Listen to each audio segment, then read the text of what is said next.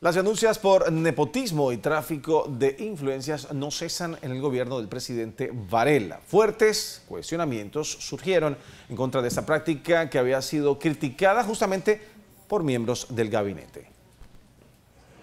El hombre es considerado como la única especie que tropieza con la misma piedra dos veces y este axioma parece atribuírsele al ministro de la presidencia Álvaro Alemán, a quien se le señala que ha vuelto a beneficiar a miembros de su familia.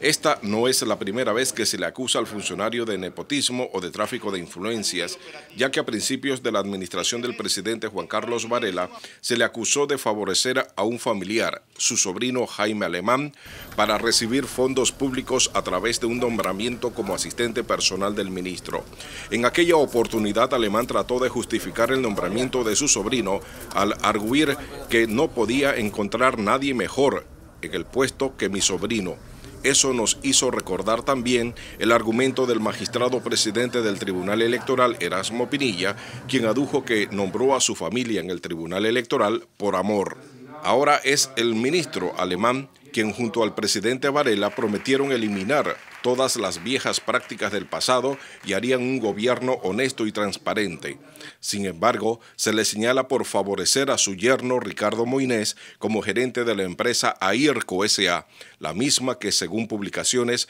ha sido favorecida con 2.3 millones del PAN para el contrato del proyecto Techos de Esperanza. Para los críticos al gobierno, Ahora entienden por qué tanto afán de la Junta Directiva del DAS antiguo PAN, del que el ministro alemán es su presidente, de aprobar por insistencia el contrato de AIRCO SA para el referendo de la Contraloría General de la República.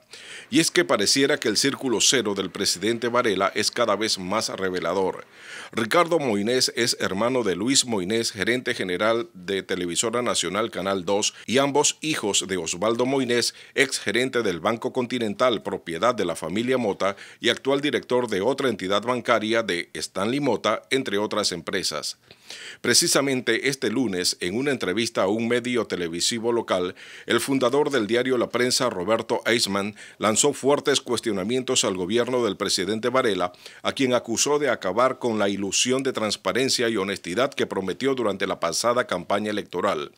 A juicio de Eisman, Panamá está viendo en la práctica un gobierno contrario a todo lo que prometió y criticó fuertemente cómo es posible que un director del Consejo de Seguridad Nacional, Rolando López, se estuviera reuniendo con el presidente de la Corte Suprema de Justicia, José Ayuprado, a pocos días de las elecciones internas en ese órgano del Estado.